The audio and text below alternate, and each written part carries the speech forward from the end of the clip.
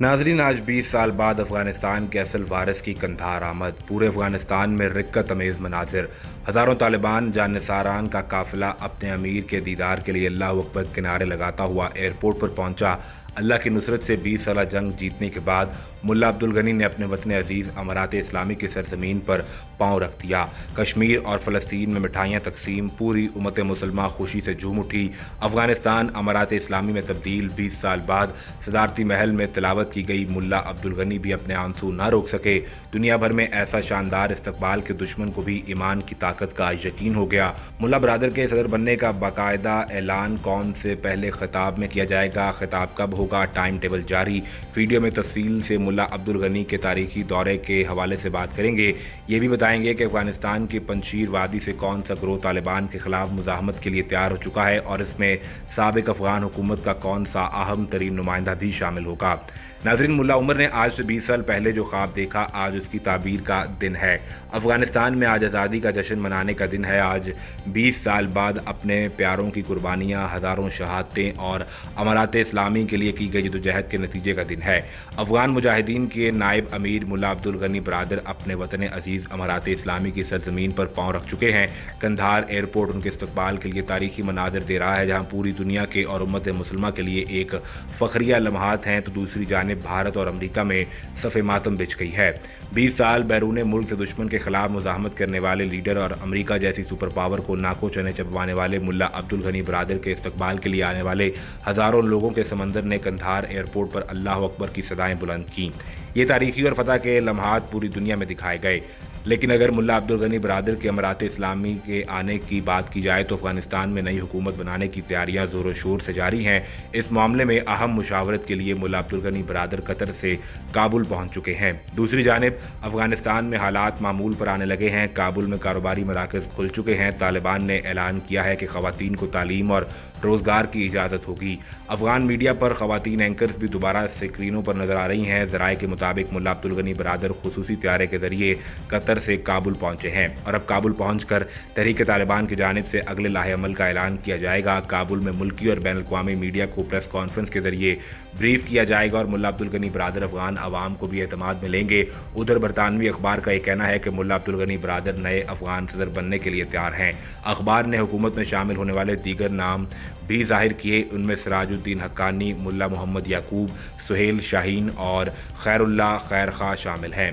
नाजरीन, तालिबान ने अफ़गानिस्तान में सरकारी मुलाजमीन के लिए आम माफ़ी का ऐलान कर दिया है। काबुल में हालात नॉर्मल हो चुके हैं। गवर्नमेंट मुलाजमीन को काम पर वापस आने के अहकाम जारी कर दिए गए हैं।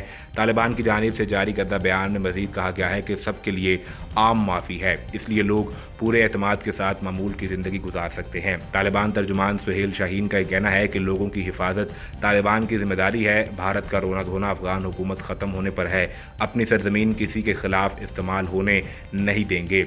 मीडिया रिपोर्ट्स के मुताबिक भारतीय मीडिया के मुताबिक भारत ने काबुल से सिफारती अमले के 120 अरकान को वापस बुला लिया। भारतीय एयरफोर्स का खसूसी त्यारा अमले को वापस लेकर भारत पहुँच गया। भारतीय वजी दाखिला का यह कहना है कि मौजूदा सूरत हाल के पेश नज़र सिफारतकारों और अमले को फौरी वापस बुला लिया। नागजीनों के लिए खसूसी वीज़ों का इजरा भी कर दिया गया है। नाजरीन, उधर अफगान नायब सदर अमरुल्ला साले और अहमद शाह मसूद के बेटे अहमद मसूद अफ़गानिस्तान का आइंदा का लाहेमल तय करने के लिए शुमाल में माजी में तालिबान मुखालिफ गढ़ वादी पंशीर में जमा हुए हैं। इस इलाके में लोगों की अक्सरियत फारसी बोलने वाली है और तालिबान जो नस्ली एतबार से पश्तून है, वहाँ बहुत कम असर रसूख रखते हैं। सूबा पंशीर का दारकूमत बजारक तवील अरसे से मरकजी हुकूमतों के खिलाफ मुजामत का मरकज रहा और शुमाली इतिहाद के बड़े अड्डों में से एक है, जिसने दो हज़ार एक में अमरीका और दीगर बैन अवी कुतों की मदद से तालिबान का तख्ता उलट दिया था। अहमद मसूद ने एक फ्रांसीसी मैगजीन लॉ रेगल डी को गुजशत रोज़ मजमून में ऐलान किया। वो अपने वालिद की तरह जदोजहद आज़ादी को मुनज़म करना चाहते हैं। उन्होंने लिखा कि मेरे साथी और मैं उन तमाम आज़ाद अफगानों के साथ अपना खून दूंग देंगे जो गुलामी से इनकार करते हैं और जिनसे मैं मुतालबा करता हूँ कि वो हमारे गढ़ पंशीर में मेरा साथ दें जो हमारे मरते हुए मुल्क का आखिरी आज़ाद खत्ता है। ये मैगजीन एक फ्रांसीसी फ़लसफ़ी बर्नार्ड हैंनरी लियो शाया करते हैं। हैंनरी लियो कर्दिस्तान में पेशतर मरगा अस्करियत पसंदों के साथ एक फ़िल्म भी बना चुके हैं। उन्होंने 2001 और 2003 में अफ़गानिस्तान और इराक पर अमरीकी हमले का भी दिफा किया था। अहमद मसूद, जो मजामती महाज के नाम से एक तहरीक के रहनुमा हैं उस मजमून में लिखते हैं कि मुल्क के तमाम आज़ादी पसंद नस्लों और कबीलों से ताल्लुक़ रखने वाले उनके साथ मुल्क के आखिरी आज़ाद हिस्से यानी पंशीर में शामिल हो सकते हैं। उन्होंने अपने मुल्क की सूरत हाल का मवाजना 1940 की दिहाई में नाजी मकबूजा यूरोप से किया। मिस्टर हैनरी लेवी के ताउन से उन्होंने फ्रांसीसी हुकूमत से मदद भी मांगी है। नाजरीन अफ़गानिस्तान में पॉलिसी साजी के इंचार्ज एक अमरीकी सिफारतकार ने नाम ज़ाहिर न करने की शर्त पर दी इंडिपेंडेंट को बताया कि अहमद मसूद और उनके वफद ने अमरीकी हुकूमत से मदद के लिए भी रबता किया था, लेकिन अभी तक इसका कोई वाज जवाब नहीं आ सका। उधर ये अमर भी दिलचस्प है कि तालिबान मुख्तलिफ़ ताजिक जंगजू सरदार अहमद शाह मसूद के छोटे भाई आजकल इस्लामाबाद में मौजूद हैं। इससे कबल वो फरवरी में इस्लामाबाद का तफसीली दौरा भी कर चुके हैं। एक तस्वीर में नायब अफगान सदर अमरुल्ला साले इकट्ठे एक इजलास में देखे जा सकते हैं। एक अफगान ट्विटर सारिफ मुनज़ा अब्तकार ने उनके पंशीर में ख़ानदान के हवाले से लिखा है कि बड़ी तादाद में लोग उनके इलाके में मुंतकिल हो रहे हैं। उनका यह कहना था कि उन्हें इमदाद की ज़रूरत है। नाजिन अमरीका ने बीस साल में अफगान हुकूमत में दो हज़ार अरब डॉलर खर्च किए। अखराज इसी तरह जारी रहते तो साल दो हज़ार पचास तक हर अमरीकी मजीद बीस हज़ार डॉलर का मकरूज हो जाता। दो हज़ार चार सौ अड़तालीस फौजी मारे गए। गैर मुल्की जरीदे ने तजियाती रिपोर्ट जारी कर दी। अमरीका ने गुजशत बीस साल के दौरान अफ़गानिस्तान में जारी जंग में दो हज़ार अरब डॉलर की रकम खर्च की। गैर मुल्की जरीदे के मुताबिक अमरीका ने बरह रास्त आठ सौ अरब डॉलर जबकि तिरासी अरब डॉलर अफगान आर्मी की तरबियत पर खर्च कर दिए। इस जरीदे के मुताबिक अगर अमरीका की जानब से अखराज का यह तसलसल साल दो हज़ार पचास तक जारी रहता तो अखराज छः हज़ार पाँच सौ अरब डॉलर तक पहुँच सकते थे, जिसके बायस हर अमरीकी शहरी मजीद बीस हज़ार डॉलर का मकरूज हो जाता। रिपोर्ट के मुताबिक, जंग के बायस दो हज़ार चार सौ अड़तालीस अमरीकी फौजी मारे गए। तकरीबन चार हज़ार अफगान कंट्रैक्टर्स को भी जान से हाथ धोने पड़े। इसके अलावा छियासठ हज़ार अफगान मिलिट्री और पुलिस एहलकार मारे गए। रिपोर्ट में मजीद बताया गया कि इन अखराज में अमरीकी और अफगान फौजियों के इलाज और तदफीन पर खर्च होने वाली रकम शामिल नहीं की गई। रिपोर्ट के मुताबिक अमरीका की जानब से अब तक अफगान जंग में खर्च की गई रकम बिल गेट, एलन मेस्क और दीगर तीस अमरीकी अमीर तीन अफराद की कुल दौलत से भी कहीं ज़्यादा बनती है। अफगान मुजाहिदीन के नायब अमीर मुला अब्दुल गनी बरदर अपने वतन अज़ीज़ अमारात इस्लामी की सरजमीन पर पाँव रख चुके हैं।